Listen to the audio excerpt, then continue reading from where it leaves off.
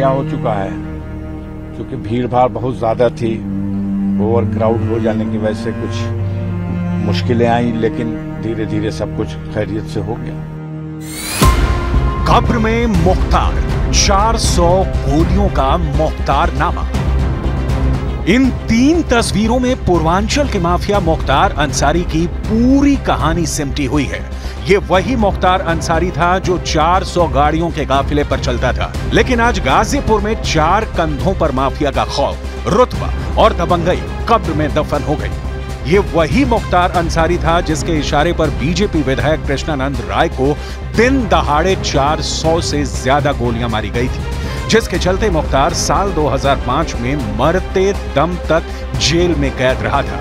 ये वही मुख्तार अंसारी था जिसकी मूछों का ताव देखकर शासन और प्रशासन में मौजूद अधिकारियों के पसीने छूट जाते थे। लेकिन बीजेपी सरकार के आने के बाद मुख्तार के माफिया राज का ऐसा अंत शुरू हुआ कि देखते ही देखते मुख्तार अंसारी, उसके परिवार और उसके करीबियों की 650 करोड़ से ज़्यादा संपत्तियाँ तबाह कर दी गई।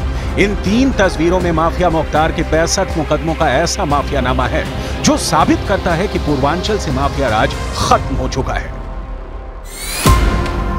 पैंसठ गुना 400 गोलियों का मुख्तार नामा जिसका नाम सुनकर बड़े बड़े लोगों को हार्ट अटैक आ जाता था, वो mafia Mukhtar Ansari heart attack से मर गया।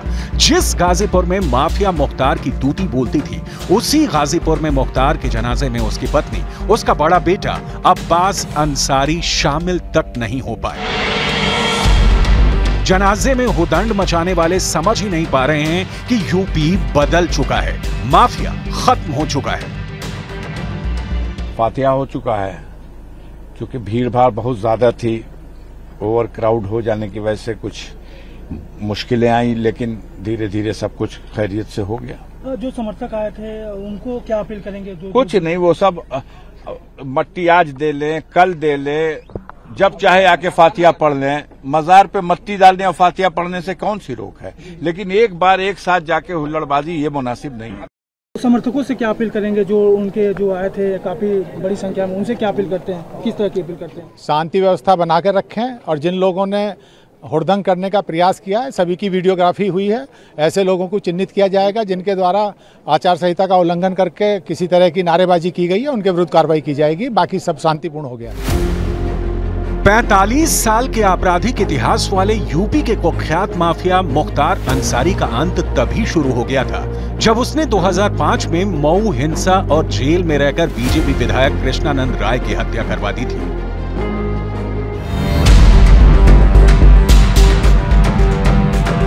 लगभग इकसठ साल का बाहुबली माफिया अंसारी मर चुका है। मुख्तार के अंत के साथ ही उसके गुनाहों की लंबी चौड़ी केसों की लिस्ट में एक ऐसा केस भी है, जो हकीकत में मुख्तार के अंत की सबसे बड़ी वजह माना जा रहा है।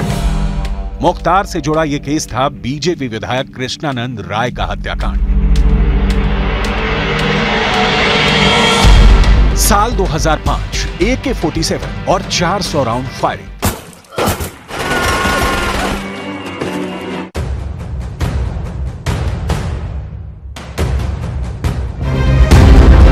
लगातार 26 साल तक पूर्वांचल में गदर मचाने वाले मुख्तार अंसारी पर वैसे तो इकसठ से ज़्यादा आपराधिक मामले थे, लेकिन साल 2005 में जिस तरह से बीजेपी विधायक कृष्णानंद राय की हत्या हुई, उसने पूरे उत्तर प्रदेश को हिलाकर रख दिया था।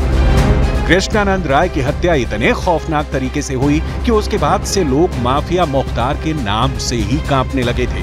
हम आपको बताते हैं कि साल 2005 में बीजेपी विधायक कृष्णानंद राय हत्याकांड को अंजाम कैसे दिया गया। कृष्णानंद राय हत्याकांड को जिस वक्त अंजाम दिया गया, उस वक्त माफिया मुख्तार जेल में बंद था, लेकिन इस हत्याकांड का मास्टरमाइंड मुख्तार को माना गया।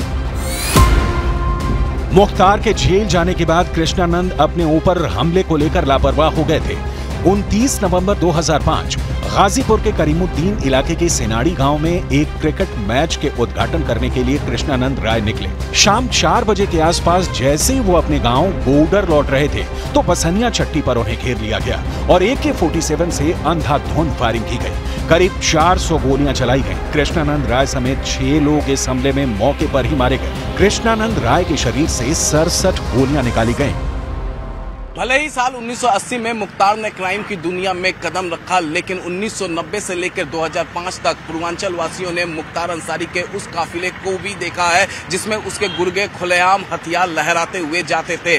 किसी की हिमाकत नहीं होती थी कि मुख्तार अंसारी के काफिले को रोक दे। आज पूर्वांचल वासियों ने मुख्तार अंसारी को चार कंधों पर अंतिम यात्रा करते हुए देखा, जिसके बाद पूर्वांचल के कई घरों में खुशी की लहर दौड़ गई।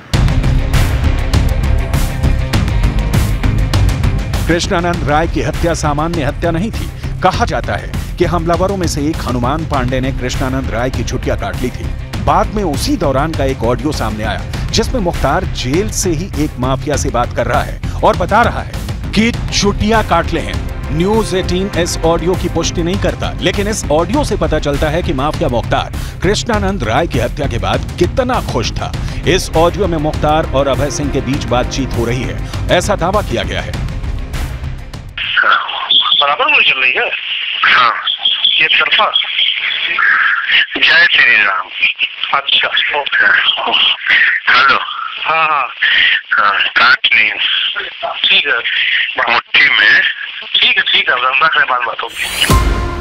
29 नवंबर 2005 को बीजेपी विधायक कृष्णानंद राय हत्याकांड में मुख्तार अंसारी और अफजाल अंसारी को आरोपी बनाया गया था। तुष्टिकरण की राजनीति उनको करना है और दूसरे पक्षों के लिए उनको कोई ना कोई मुद्दा चाहिए तो वो एक अपराधी में अपना मज़हब ढूंढ रहे हैं। और मेरा ये मानना है कि रमज़ान के इस महीने में ये फैसला आया है। अल्लाह का दरबार कहिए, चाहे बाबा विश्वनाथ का दरबार कहिए, ये फैसला हम लोगों के बीच में है, इसको स्वीकार है। 2005 में तत्कालीन विधायक कृष्णानंद राय की हत्या हुई। इस हत्या का मास्टरमाइंड मुख्तार अंसारी को बताया गया। इसके बाद से ही मुख्तार अंसारी लगातार अपनी अंतिम सांस लेने तक जेल में ही बनता जेल से वो बाहर नहीं निकल पाया। 2017 में जब योगी आदित्यनाथ के हाथ में सूबे की कमान आई, उसके बाद योगी सरकार ने माफियाओं के खिलाफ एक्शन शुरू किया और इस एक्शन के तहत ही मुख्तार अंसारी पर जो छियासठ मुकदमे दर्ज थे उनमें से आठ मामलों में मुख्तार अंसारी को सजा हुई और बाकी मामले अभी भी कोर्ट में पेंडिंग है।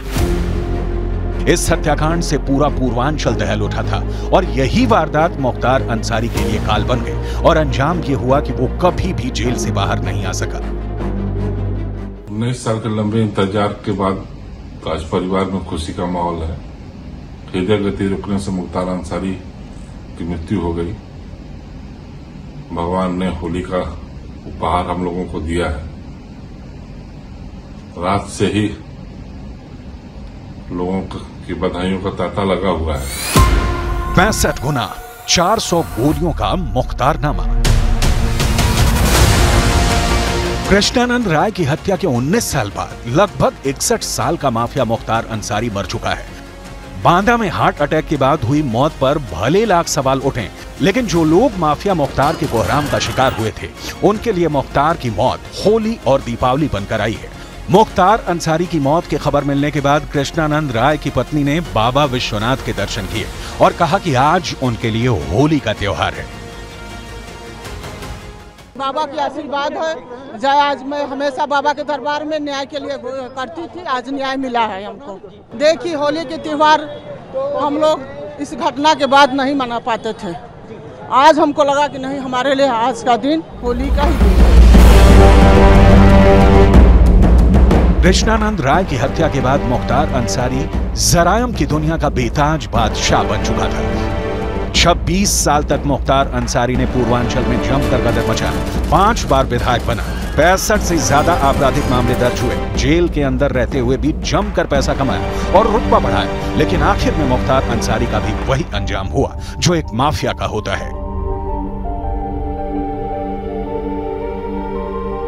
पूर्वांचल की राजनीति में मुख्तार अंसारी का कद कितना बड़ा था, आप इस बात से अंदाज़ा लगा सकते हैं कि मुख्तार अंसारी जिसे चाहता था, वही चुनाव जीतता था और जिसे वो ना चाहता था, वो चुनाव हार जाता था। लेकिन 2017 में योगी आदित्यनाथ जैसे ही मुख्यमंत्री बने उत्तर प्रदेश के, उसके बाद पूर्वांचल की राजनीति में मुख्तार अंसारी का कद लगातार गिरता रहा। पंजाब की जेल में जहाँ मुख्तार अंसारी व्हीलचेयर पर घुमा करता था, उत्तर प्रदेश में जैसे ही मुख्तार अंसारी आया, वो अपने पैरों पर खड़ा हो गया। क्योंकि मुख्तार अंसारी को भी मालूम चल गया था कि अब उसका दुर्दिन आने वाला है।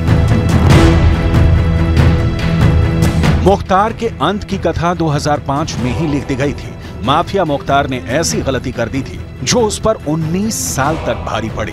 कृष्णानंद राय की हत्या के आरोपी बने मुख्तार अंसारी ने इस हत्याकांड को अंजाम क्यों दिया था? इसके पीछे भी आरोप पत्र में एक बड़ा कारण बताया गया है।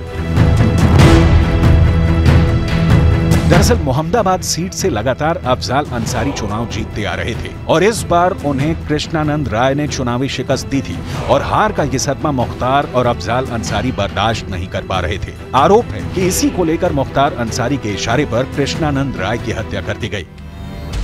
मुख्तार का जनाजा पूर्वांचल में माफिया राज के अंत की तस्वीरें दिखा रहा है। ये कहना जरा भी गलत नहीं होगा। जिस माफिया राज से जनता खौफ खाती थी वही माफिया राज अब यूपी सरकार से खौफ खा रहा है। साल 1990 से लेकर साल 2010 तक जिस मुख्तार अंसारी का पूर्वांचल के राजनीति में सिक्का चलता था, आज उसी मुख्तार अंसारी के अंतिम यात्रा में उसकी पत्नी अफसा अंसारी शामिल नहीं हो पाई। यहाँ तक कि उसका बेटा अब्बास अंसारी भी शामिल नहीं हो पाया, क्योंकि वो कासगंज जेल में बंद है। हाई कोर्ट से लेकर सुप्रीम कोर्ट का दरवाज़ा खटखटाया, लेकिन अब्बास अंसारी को इजाज़त नहीं मिली कि वो अपने पिता के अंतिम यात्रा में शामिल हो पाए। मुख्तार अंसारी के खिलाफ कृष्णानंद राय की हत्या कोयला व्यापारी नंद किशोर रूंगटा के अपहरण और हत्याकांड में एक हज़ार इक्यावन बटे दो हज़ार सात नंबर का मुकदमा लिखा गया था। गाजीपुर की एमपी एमएलए कोर्ट ने इस मामले में मुख्तार अंसारी को 10 साल की सजा सुनाई थी और पाँच लाख रुपए का जुर्माना भी लगाया था। मुख्तार अंसारी कानून के ऐसे चक्रव्यूह में फंसा कि यूपी से लेकर पंजाब तक उसने जेल बदली और कई पैतरे आजमाए, लेकिन तमाम पैतरों के बावजूद उसे सलाखों की कैद से आज़ादी नहीं मिल सकी और आखिर उसकी मौत हो गई और गाजीपुर से पूरे यूपी में कदर मचाने वाला माफिया कब्र में दफन हो गया।